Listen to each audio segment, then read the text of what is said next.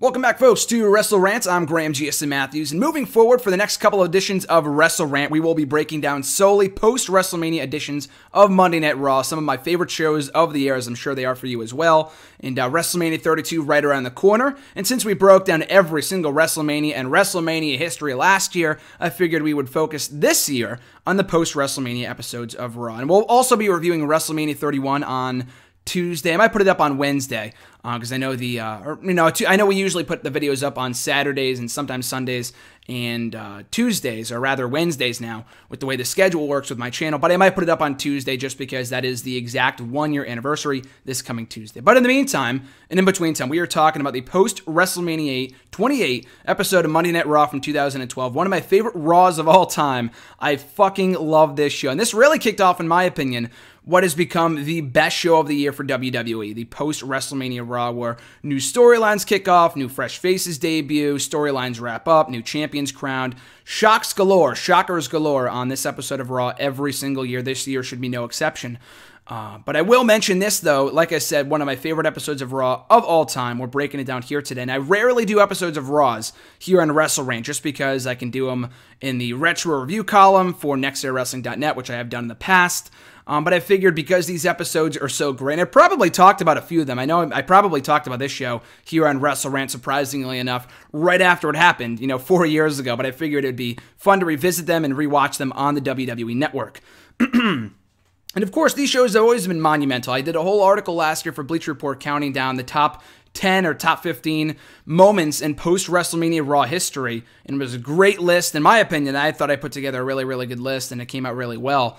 Um, but this, you know, this has been a tradition dating back to when Raw first started in the mid 90s, in 1993, 94, 95. These moments have been happening for years. Mankind, Mick Foley debuted the night after WrestleMania on Raw back in 1996. So it's not a new phenomenon, but I will be just breaking down the 2012 2013, 2014, and 2015 post WrestleMania episodes of Raws just because they're on the network. And I'm sure there's other episodes of Raw, you know, post WrestleMania Raws on the network from like 2001, 2000, but I'm not as enthralled as you guys know with the attitude era. So maybe down the line, but for right now, for the next week or so, just WrestleMania, you know, post WrestleManias from 2012, 2013, 2014, and 2015. So without further ado, let's kick it off here with our opening segment. Kicking off the show, I mean, opening the show technically was John Laurinaitis backstage with the rest of the roster saying that CM Punk would defend his WWE Championship later on in the night. Who was, you know, Laurinaitis at that point had just become the new general manager of Monday Night Raw after winning control of the show the night prior at WrestleMania by beating Team Teddy in that multi-man tag team match. So that was announced for the show at the at the start of the hour, at the top of the hour. But kicking off the actual show was The Rock, Miami Zone. The place came unglued, less than 24 hours removed from his shocking victory over John Cena in the main event of WrestleMania 28.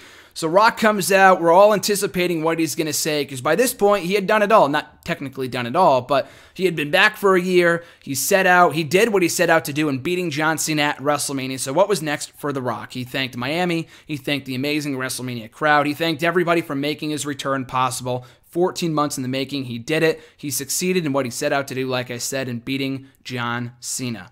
But now what's next for The Rock? So he goes on, you know, praising the crowd for like 10 minutes before he gets to so what am I going to do next? And he said he, that he's never going away just because he did, you know, he, he just because he defeated John Cena doesn't mean that he's going to be going away forever. So he said, uh, you know, I'm never going away again, which gets a great pop, obviously. And I know he's not in every single episode of Raw, but you know, he's still been a part, a huge part of the WWE family over the last, you know, four or five years since he came back to the company.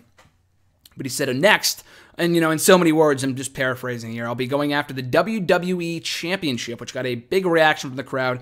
Great goal for The Rock. And at that point, it kind of became evident that he was going on to win the WWE Championship at some point. We had no idea when. And that Cena would probably either win the championship and Rock would win the Rumble or whatever. It ended up being the other way around. But not that it became obvious going into WrestleMania 29, but it was a great hook for uh, the next time that Rock came back to the company. So a great promo there, a great way to kick off the show. The in ring action of the show, in ring action portion of the show, kicked off with a United States Championship triple threat match between the then champion Santino, yes, Santino was the U.S. champion, against Jack Swagger and Dolph Ziggler. Pretty fun match. I don't give two shits about Santino. I don't know why he held the championship for as long as he did. He was champion for a solid four or five months back in 2012. I guess as a little reward for that great reaction he got back at the chamber that year in that World Heavyweight Championship Elimination Chamber match. But, but beyond that, I have no idea why he held the championship for five months. He tarnished the title, to say the least. Not that it really meant anything to begin with, but you know what I mean. Anyway, the match was fun. The crowd didn't shit all over Santino like I thought they would. They did side with Dolph Ziggler, though. A big pop for Dolph Ziggler. The same Raw where he would win the World Championship a year later. I'll talk about that in a couple days, in about a week or so. Uh, but yeah, a fun little triple threat match. It was mostly a two on one handicap match with Ziggler and Swagger, who were a team at that time and associated with Vickie Guerrero teaming up against Santino. In the end, Santino picked up the victory, still the U.S. champion. They attacked him afterwards before Brodus Clay came out to his aid. So Brodus Clay at this time had no stories for a solid three or four months when he debuted at the uh, at the dawn of 2012 and was featured at WrestleMania in the, in the Mama segment, whatever. And then, so he came out, he headbutted Dolph Ziggler, an amazing headbutt. Ziggler ran at him, and Ziggler sold it like a million fucking bucks. Looked great, and he bounced all over the stage. That was a cool segment. I mean, uh, the crowd took very kindly to Brodus Clay, a lot more than I thought they would, like I said, because these crowds tend to be very, very, uh, very, very critical, I guess, of many of the superstars on the show. So after that, we had the re-debuting Lord Tensai, formerly known as a Train, Albert, Prince Albert, later known as just Tensai, Matt Bloom, Jason Bloom, or Jason Albert, however you want to put it. That was, you know, the many gimmicks of uh, the hip hop hippo of uh, Matt Bloom in WWE. So he came back and it had been rumored for a couple of weeks. I remember reading on, I think, St. Patrick's Day of that year back in 2012, that he was coming back to the company. They aired a bunch of vignettes for him leading up to WrestleMania. He didn't re debut at WrestleMania, but he did come back the next night. And of course, he got the obligatory a Train chance or Albert chance or whatever. Um, kind of went away pretty quickly. The match was a glorified squash with him dominating Alex Riley, and the, I was glad the commentators made you know made mention of the fact that he was previously in WWE. They didn't mention his name, but they did say he was previously in WWE before going off to Japan to hone his skills. Blah blah blah. And um, that was it. So I thought that was a cool little squash match. I mean, the Lord Tensai gimmick would go nowhere. He wasn't even at Extreme Rules, and he wasn't at Over the Limit either, and he didn't really do anything of note for most of his run in WWE, and the character was a massive flop. But this was a nice little re-debut for the uh, returning Lord Tensai, aka Prince Albert, Albert, you know, A Train, whatever however you want to put it. Um, so after that, for the WWE Championship, like I said earlier, CM Punk defending against Mark Henry in a very fun match. It might have been just an average match any other time, but because of the post WrestleMania crowd, and I love the match they had in England two two weeks later. So they had this match. Mark Henry won via countout, which I thought was great to protect Mark Henry, protected Punk. He didn't lose, held on to the championship, and Mark Henry picked up a dominant, clean victory via countout. Um, they had another match the following week, which Mark Henry won via disqualification, which I don't remember too much about.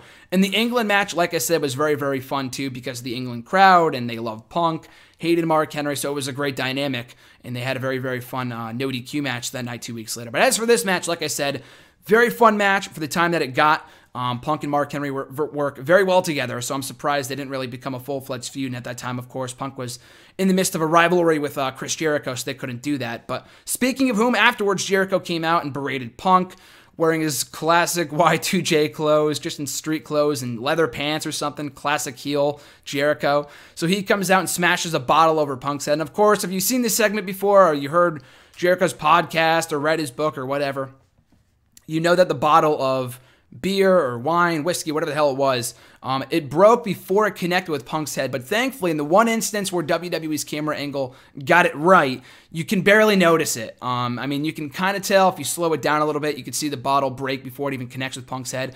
But the crowd, you know, roared, you know, regardless, they gasped. They're like, "Oh shit, my god!" Like that's that's gross. That's disgusting. How diabolical of Chris Jericho.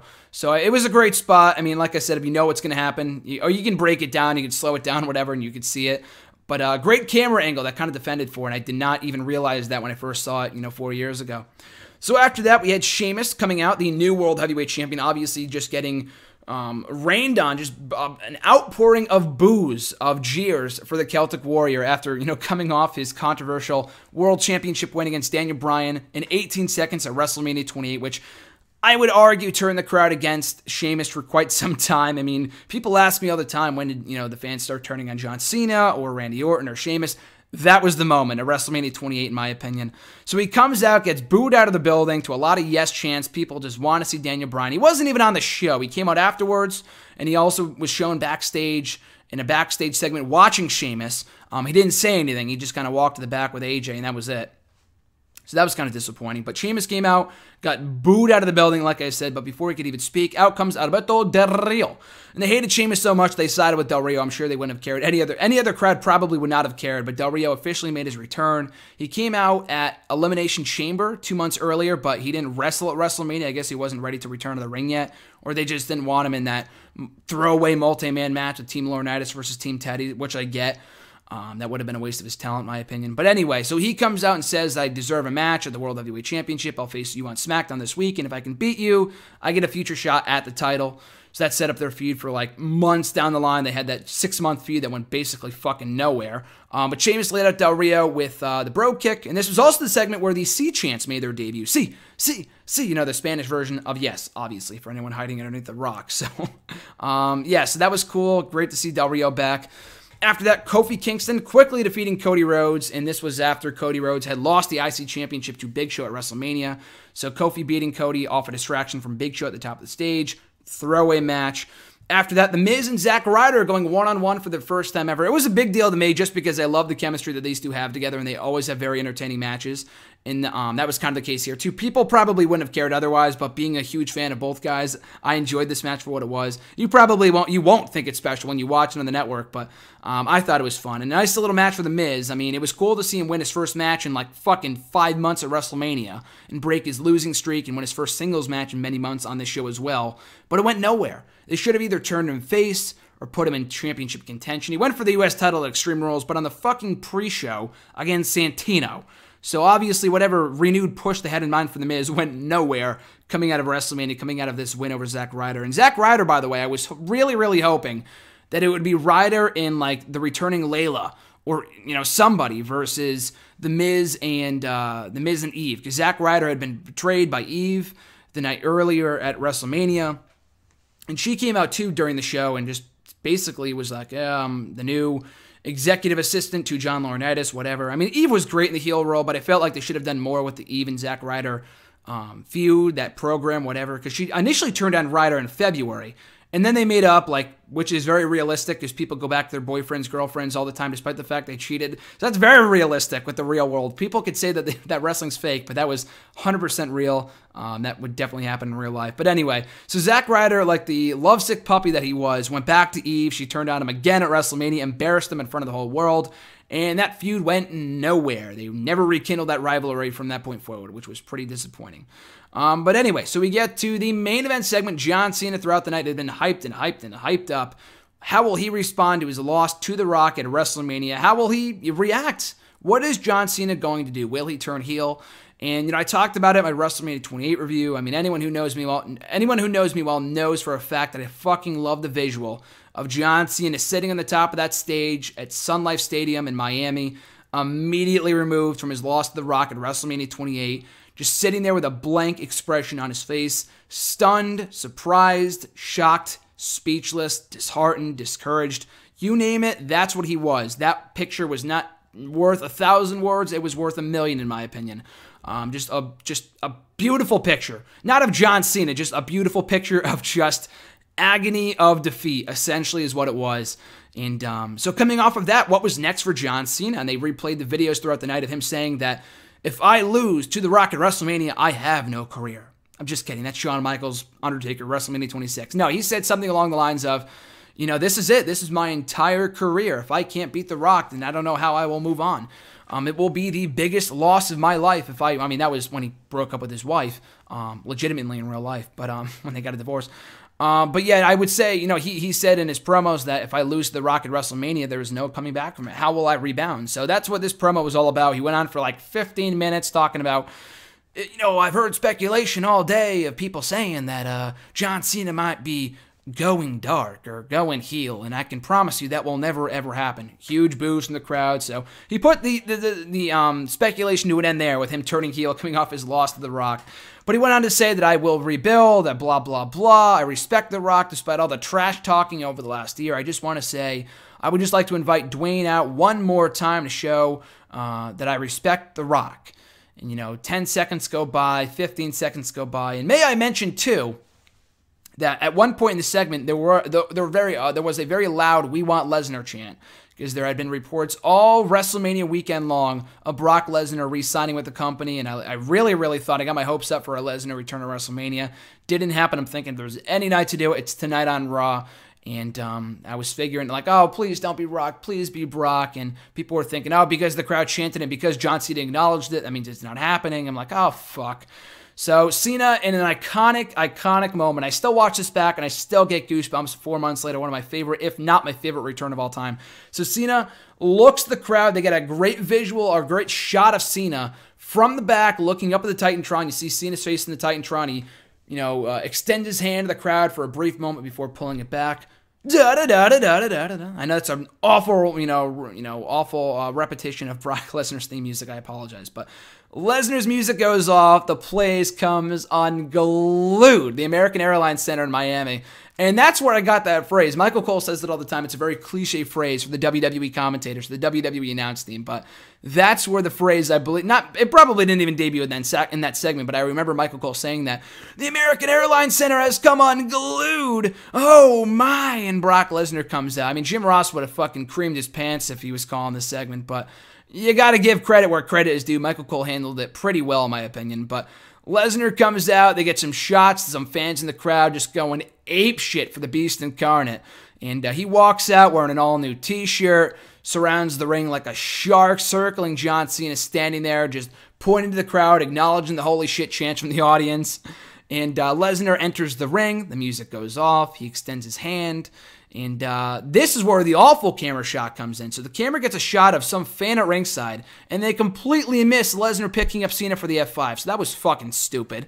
I mean, they got another shot of him from another angle that they showed in the replay. But the initial camera shot should have been on the ring the whole time. I don't. I mean, I love the fans and whatever, but when Lesnar is about to do something, you don't cut away to the crowd. You could do that when you know before his music hits and or when it hits and get the reaction to the fans, but you don't do it when he's about to F5 John Cena. So per- terrible timing there. Um, but anyway, so he picks him up for the F5. You hear John Cena start yelling, and Lesnar plants him with an F5 anyway. Kicks his hat to the side for good measure. Great little touch there. And then he stands over Cena saying something to the crowd or saying something to the camera, which I can never, you know, make out. I wish I could. Watch. I've watched the back like a million times. I still can't see what he says. So he kicks the hat over to the side, looks in the camera, says something, goes to the top rope, does his poses. Um, the landscape of the WWE has changed. The anomaly has come back to Monday Night Raw, said Michael Cole, and I still get goosebumps, and I just remember losing my fucking shit during this whole segment. And my parents were asleep, my brother was asleep, trying not to wake them up, but still screaming to a pillow, um, just screaming my fucking lungs off, trying not to wake people up, and you can imagine how hard that is. Uh, it was just amazing. Just amazing. And anyone who lived through this moment, if you started watching wrestling after this moment, I would strongly recommend if you have yet to see it. I'm sure you I'm hope I hope you did.